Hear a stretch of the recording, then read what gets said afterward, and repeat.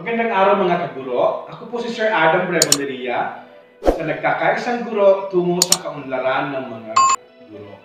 Ngayong araw, ang video ko ngayong araw ay tungkol sa mga request ng mga nag-message sa angat kaguro tungkol sa kanilang mga special request na i-discuss ko daw. Okay, uh, mula kay basahin ko muna yung mga request kay Andres Tapia. Hi Sir Adam, kumusta na po kayo? Balita ko, di na daw, di na daw po kayo naninigarilyo. Please give us tips. Papaano po, nalam, paano mo po nalampasan o tinigilan ang paninigarilyo? Salamat po, sana soon. Miss ko na galing mo magturo. Miss ko na college life. Okay, uh, then meron pa. Ito naman galing kay Romel Villa. Uh, Hi Sir Adam, miss you po at mga advices mo at mga lesson. Sir, tip pa paano ka tumigil sa paninigarilyo? Okay, thank you. Student po po ako sa philosophy 10 years ago. And uh, meron pa nag-message si from Choi Sanchez commented, Wow! Two of my favorite teacher in college, Sir Chris and Sir Adam. Sir Adam, malakas pa rin po ba kayo manigarilyo?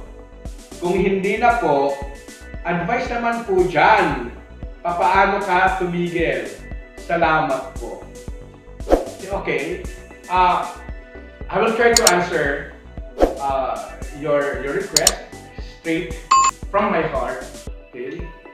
Uh, para matulungan ko rin kayo na tumigil sa sa masamang vision ng paninigarilyo.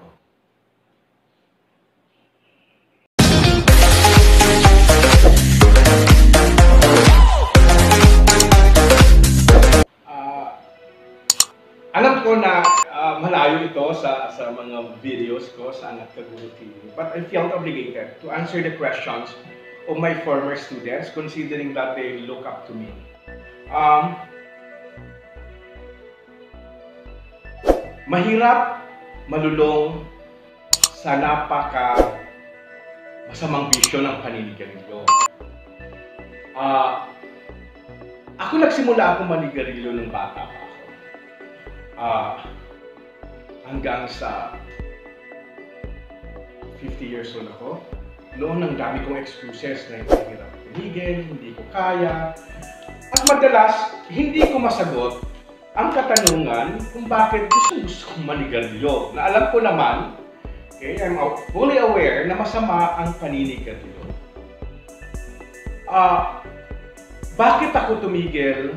Paano ako tumigil sa paninigarilyo? Uh, una, tinanong ko ang sarili ko, bakit ako naninigarilyo?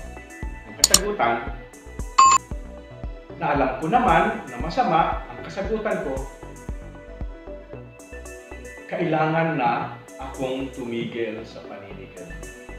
On my part, uh, on my part, I want I I I, I follow my personal uh, rules kung ba paano ako tumigil sa paninigarilyo. I have five. I have I followed five personal rules kung paano ako tumigil sa paninigarilyo. Una, nagdesisyon ako na tumigil.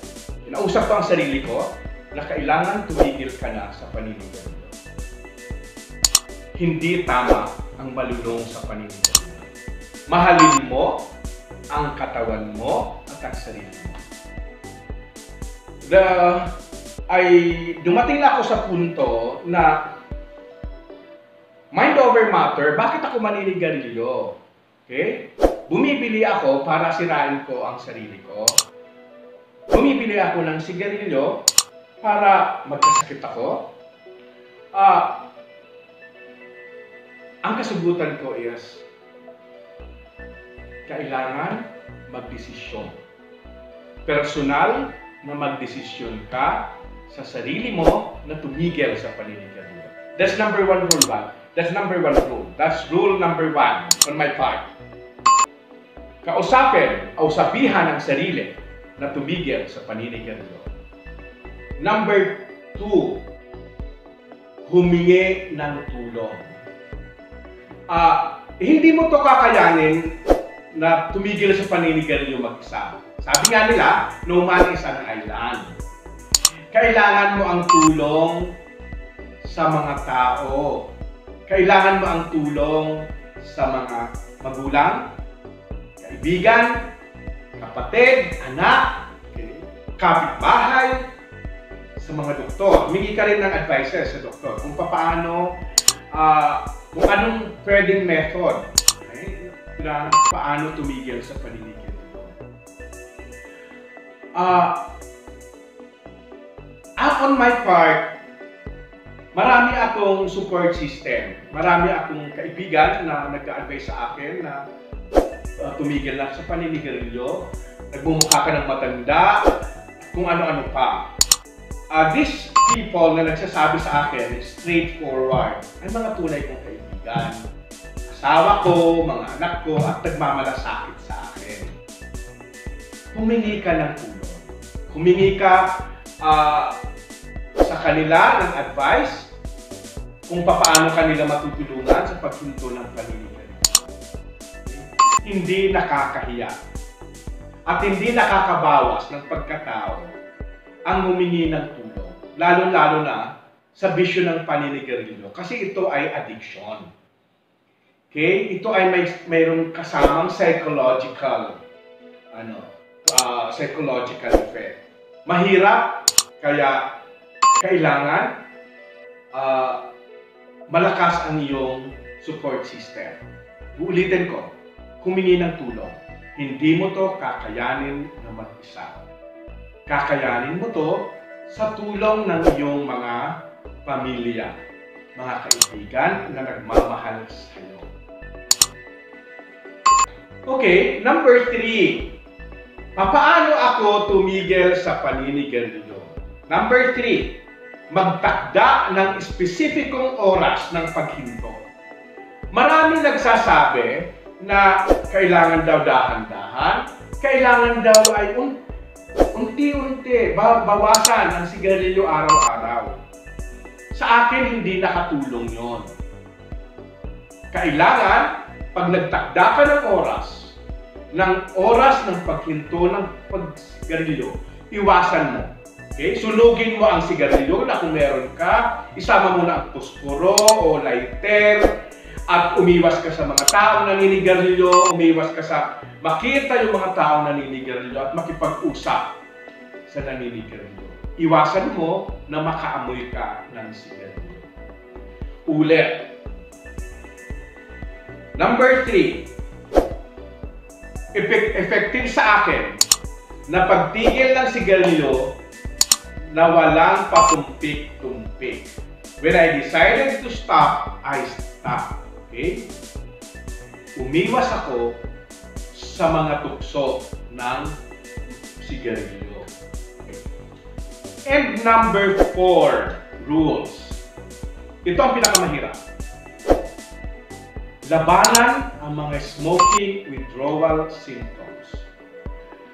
Kasabay ng pagtalikod sa sa smoking habit mo, hindi may iwasang may mga pagkakataong matutokso ka pa rin manigarilyo. Sa oras ng pakiramdam ng unang nangangate, ang, ang, ang bibig mo, humawak ng ang kamay mo na humawak ng sigarilyo, umamoy, mag-focus ka sa paggawa ng ibang physical activities. On my part, okay? On my part, pag naka, pinagpapawisan na ako dahil gusto ko naman naglalino, okay? Nagtatanim ako, nag, nag-exercise, okay?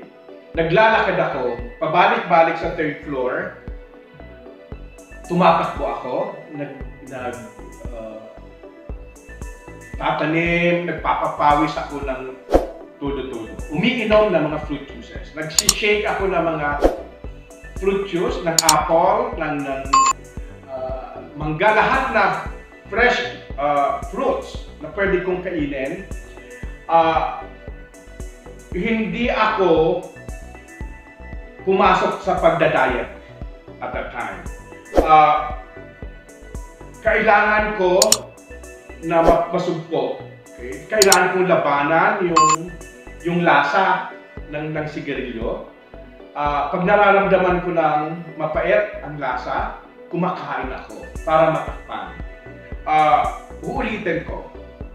Nakakabuti sa oras ng pagtigil mo ng panigarilyo na matuto kang kumain ng maraming fruits and vegetables. Ah, Huwag muna mag-diet. Ah, mag-exercise. Magtanim. Gumawa ng mga physical activities such as ah, jogging, ah, exercises, ah, magpapawis ka, maglinis ng bahay, maglinis ng likod ng bahay, maglinis ng lahat. Okay? Para lang maiwasan. Uulitin ko, ang pang-apat, hindi madali. Ah, duma dumaan din ako sa withdrawal syndrome. Mahirap. Sumasakit ang ulo ko. Sumasakit lahat. Masakit. Okay. Pero kailangan iwasan. At ayaw ko lang yun maging excuse para ako'y bumalik sa paninigarilyo. Naranasan ko rin, inubo ako, nagkaroon ako ng smoker's cough after that. Siguro after a month. Smoker's cough, ah, lagi akong masama ang pakiramdam, lagi nangihina, pero ang nakatulong sa akin, uulitin ko, kumain lagi, kahit mapait ang paglasa, kumain lagi ng vegetables, ng fruits, vitamin C, at lahat ng vitamins. Okay, wag munang magdali. Okay. And the last, but not the least, lumayo at umiwas sa tukso. Okay? How to prevent smoking? Kailangan meron kang tipso. Manta ka, o tukso, layuan mo ako because ang hirap. Papaano uh, ma maiwasan o lumayo sa tukso? Ang pinakamahalagang paraan ay ang tuluyang paglayo at pag-iwas sa mga sitwasyon na maaaring makaudyok sa iyo na manigarilyo. Ibig sabihin, tanggalin mo na sa isip mo na mas masarap manigarilyo habang may ginagawa. Tanggalin mo na sa isip mo na matagal, masarap manigarilyo after ng after kumain at tanggalin mo na sa isip mo na masarap magkwentuhan habang nag nagiinom ng kape at naninigarilyo. Uulitin ko, iwasan ang tukso sa paninigarilyo. Mind over matter. Mind over matter. Kaya siguro ilinagay ng Diyos ang utak natin sa taas para ang utak natin ang mag-control. Okay? Na gawin natin yung mga hindi tama at hindi nakakatulong sa atin. Huwag nang balikan ang sarili na bumalik sa dating nakakagawian. Ulit. Ang pagtigil sa paninigarilyo ay mahirap. Pero, ang pagtigil sa paninigarilyo ay isa sa pinakamagandang desisyon na gagawin mo sa sarili mo dahil ito ay magkakaroon ka ng mas masaya, mas healthy pamumuhay, mas mabagong hininga, at hindi ka na mahihiya na makipag-usap kahit kanino na hindi naninigarilyo. Gaganda ang kulay ng ngipin at aayos ang iyong immune system. Kaya, thank you mga mga anak sa mga sa mga request nyo. I hope na tulungan ko kayo na tumigil sa paninigarilyo. Iwasan nyo na ang paninigarilyo. Hindi maganda yan. Okay? Habang bata pa kayo, tumigil na kayo. Okay? Sa mga kaibigan ko na naninigarilyo, iwasan na po natin na manigarilyo. Tulungan po natin ang sarili natin at ang mga kabataan na tumigil na sa bisyo na hindi nakakatino. Maraming salamat sa inyong panunood at maraming salamat. Sana mat natutunan nyo ang mag-iwas, kung paano makaiwas sa paninigil. God bless everyone. See you